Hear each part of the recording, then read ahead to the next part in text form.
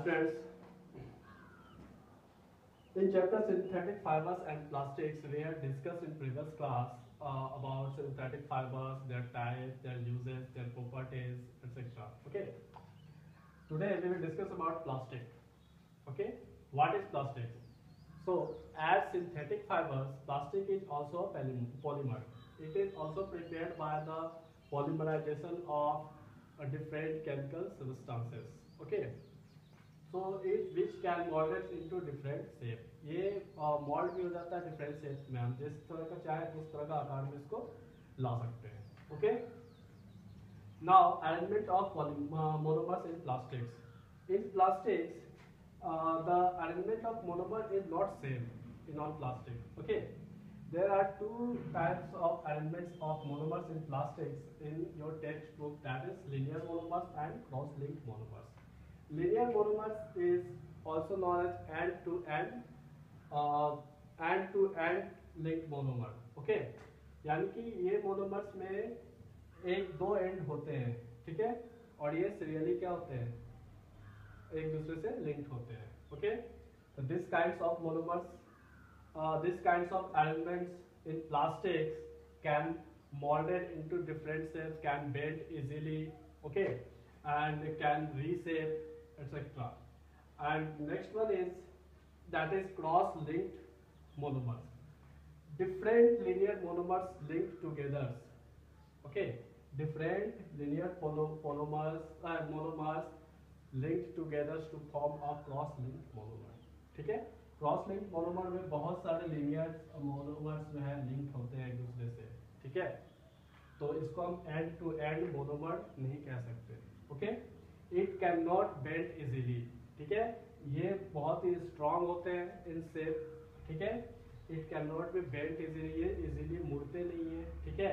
It can not melt easily और while heating ठीक है? ये हिट होने पे जल्दी मेल्ट भी नहीं होते ठीक है? Next is properties okay properties of plastic what is properties of plastic plastic can recycle और रीयूज ठीक है? प्लास्टिक को हम लोग रिसाइकिल कर सकते हैं। मतलब कि उसको हम लोग एक बार यूज़ करके फिर दोबारा भी यूज़ में ला सकते हैं, ठीक है? नेक्स्ट है, उसको रीसेप कर सकते हैं। उसको मेल्ट करके हम जो चाहे शेप में हम बना सकते हैं, ठीक है?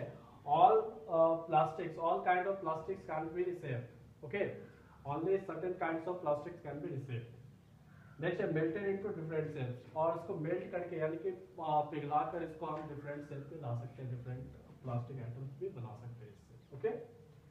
अब इसका एडवांटेजेस क्या क्या है प्लास्टिक का? तो this is there are various advantages of plastic that is सबसे पहला है लाइट इन वेट सबसे हल्का होता है वेट में, ठीक है? आप आप लोग देखे होंगे इसका वेट ठीक है? तो ये अदर फाइबर्स के कंपैरिजन में इसका वेट काफ़ी हल्का होता है। स्ट्रॉन्गर देन अदर फाइबर्स ठीक है? अगर नेचुरल फाइबर से कंपेयर करें तो ये बहुत ही स्ट्रॉन्ग होता है, मज़बूत होता है। इजी हैंडल ठीक है? इजी टू हैंडल ठीक है? ये बहुत ही इजीली हैंडल हो जाता है, ठीक है? ये बहुत सारे हैवी मटेरियल्स को भी कैरी कर सकता है ठीक है?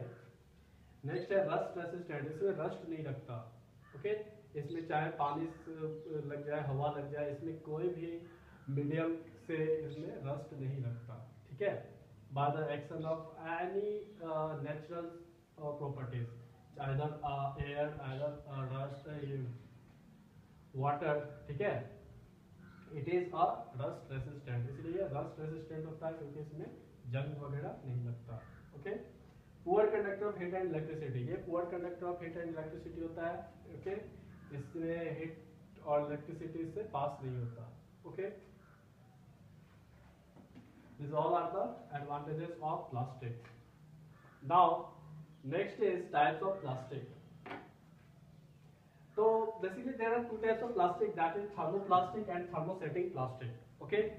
Thermosetting is thermoplastics. The plastic, the type of plastic which can bend easily and deform. Okay.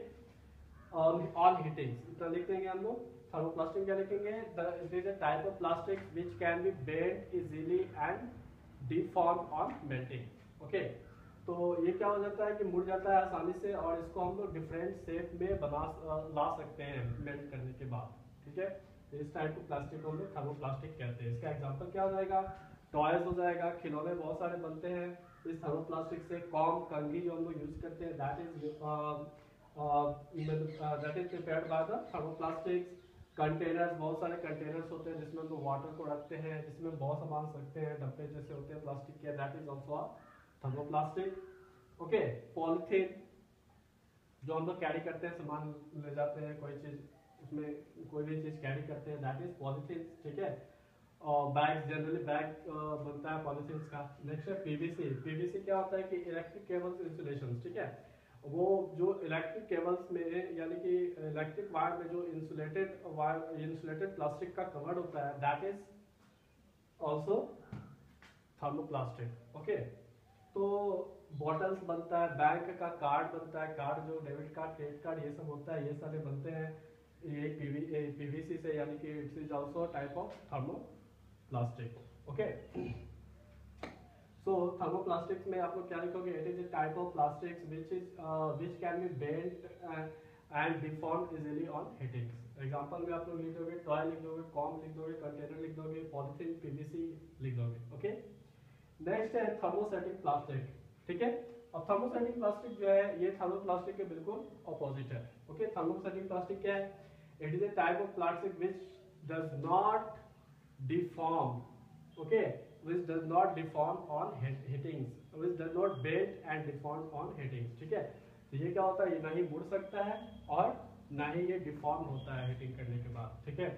तो ये जनरली यूज़ होता है बैकेलाइट में। मतलब क्या है कि कोई भी चीज़ का हैंडल यानी कोई भी कंटेनर का कुकर का आप हैंडल देखते होंगे ठीक है?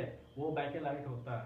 वो थर्मोसेटिंग प्लास्टिक होता है ठीक है? ये हीट रेसिस्टेंट होता है। इसमें हीट जो है नहीं आ, हीट पास इससे नहीं होता है ठीक है? और इसलिए आप लोग देखते हो कि गर्म कुकर को भी हम हैंडल से हम लोग उठा लेते हैं क्योंकि ये हीट रेजिस्टेंट होता है वो बना होता है थर्मोसेटिक प्लास्टिक से ओके नेक्स्ट है आपका मेलामाइन मेलामाइन क्या होता है? Melamine is also thermosetting plastic which is which is the properties of melamine is fire resistant क्या इसमें आग नहीं लगता। ठीक है? और इसीलिए इस मेलामाइंस को हम लोग यूज़ करते हैं डिफरेंट किचन वेयर में जिसमें कि, जिसमें आग आसानी से नहीं लगता। ओके तो थर्मोसेटिक प्लास्टिक में आप लोग क्या लिखोगे it is a type of plastic which is which does not bend and moulded और deforms into other shape on heating okay example में आप लोग लिखोगे bakelite and melamine In uh, next class, we will discuss about uh, PVC, melamides, bakelite in details. Okay. So hope कि आपको plastic their types समझ में आ गया होगा, कोई भी प्रॉब्लम होगा आप मुझे व्हाट्सअप कर सकते हैं। Thank you